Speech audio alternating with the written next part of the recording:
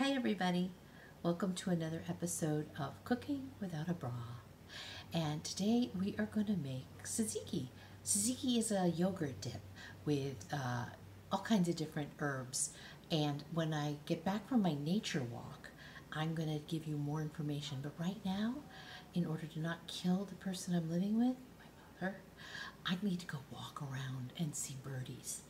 I'll be back in a bit. Okay, Mom.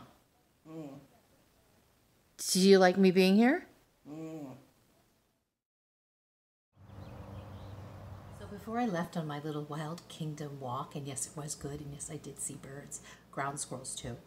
I took Greek yogurt. This, actually, it's not Greek. This is um, some sort of Middle Eastern. I can't read that language. Um, it's one I had never bought, and quite frankly, I don't love it. A little granular, but I take it and I put it in a sieve and I put under it a paper towel and I get all the liquid out of it. So, if you, oh, this is good, right? You, you, this is a good face for me. This is. So here's what I wanted to show you that came out of the container of Greek yogurt. That's all the liquid that came out. Let it strained out. That's a lot of liquid. And I chopped up some cucumbers. Now, some people salt those and get the liquid out of them. I'm not doing that. I have some dill and some fresh mint. I have a little flat leaf parsley that I had left over. And here's that beautiful Greek yogurt that I had strained. Um, I wonder if it's, oh, hold on. Mmm, mmm, mmm. Yeah, still grainy. And here's what I want to say about recipes. In case you haven't noticed, I don't follow them.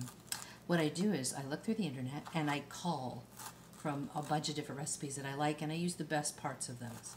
Now, obviously, this doesn't work for baking. Duh. No recipes with. Oh, wait, I probably shouldn't do that.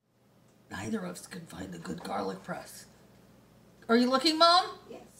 Did you find it? Not yet. Mom found it. Thanks, Mom. A lot of recipes call for two cloves, but look at the size of this. And we don't cook it, so one clove it is. I'm gonna put that in the garlic press. See, these are the new, new, shiny, new, good. 1975. So I was thinking back on when I licked my finger, and I need you to know that I washed my hands really, really well. And in case you think I'm not paranoid enough about our little viral situation, uh, take a look at what happened today on my walk. Oh my god. I just had to walk extra fast to get away from someone and regain my six feet. COVID. If it doesn't kill you, it'll make you healthier. Hi guys, we have it all chopped up. Look how beautiful and herbaceous that is. I'm gonna stir softly and carry a big stick. No, I'm just gonna stir it softly so it doesn't all fall out. Look at that deliciousness. And yes, I am to put in a little bit of EVOO drizzled on top of it. Right now it's spicy with the garlic, but that will mellow. This is definitely better a day, two days later. Yum.